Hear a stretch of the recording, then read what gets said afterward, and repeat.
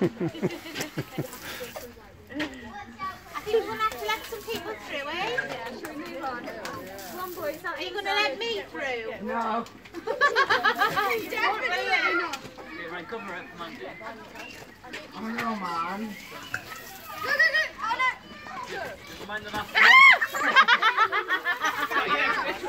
Well, going to get me.